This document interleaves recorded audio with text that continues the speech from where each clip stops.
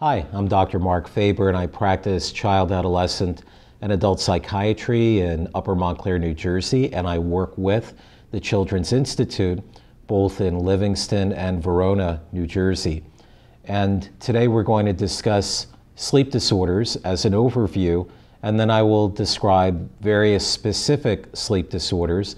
And these occur both in children as well as adolescents and adults, and for those who may be on or off the spectrum. And so we're going to discuss these in general and then be more specific. Sleep disorders are very, very common. And whether we're talking about insomnia in adults or things such as night terrors or nightmares in kids, they're very common. And the most important thing, particularly when thinking about children and adolescents, is that with sleep related difficulties, there may be behavior based difficulties seen the next day. And these behaviors may be as benign, seemingly, as some trouble with attention and focus, or maybe even more pronounced as in the form of major outbursts or changes in mood or impatience. And so it's very, very important to make sure that sleep quality is there.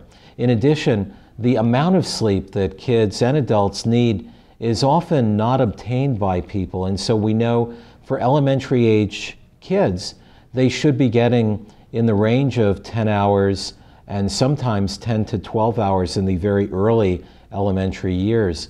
By middle school, we know that kids generally need up to nine or 10 hours of sleep, and in high school, it's eight to nine hours. Adults ideally should have eight hours of sleep.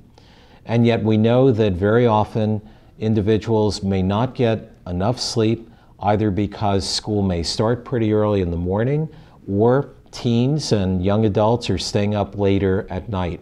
So we want to make sure that sleep quality is good, that the amount of sleep is adequate, and we always want to consider sleep related difficulties when evaluating behavioral or mood difficulties in children, adolescents, and adults.